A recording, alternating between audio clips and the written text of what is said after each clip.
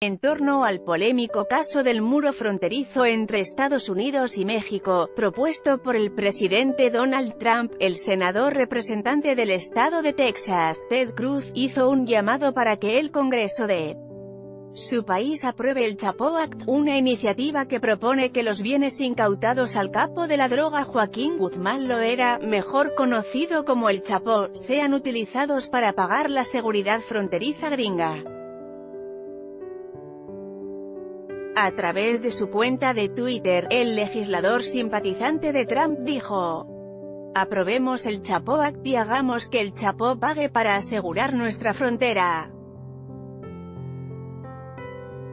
Let's pass del Chapo Act and make el Chapo pay to secure our border, https dos puntos barra barra t.co barra xbcc6, duar 2, Ted Cruz, arroba Ted Cruz. February 12, 2019 Cabe destacar que desde 2017, el legislador republicano presentó un proyecto de ley para usar los bienes incautados de Guzmán Loera y otros narcotraficantes, y así pagar el muro de Trump y reforzar la frontera.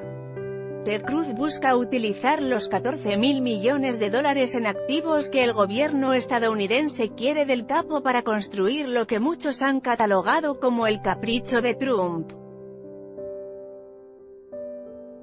14 mil millones de dólares ayudarán a construir un muro que mantenga a los estadounidenses a salvo, y que obstaculicen el flujo legal de drogas, armas y personas a través de nuestra frontera sur.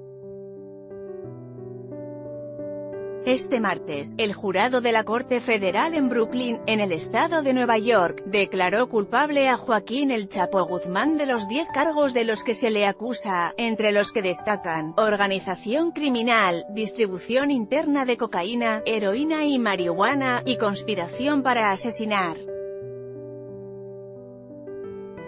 Por lo anterior, el narcotraficante mexicano podría enfrentar una cadena perpetua con información de Poli con acento agudo tico.mx, Twitter y la neta noticias foto, Twitter y CNN anímate a comentar.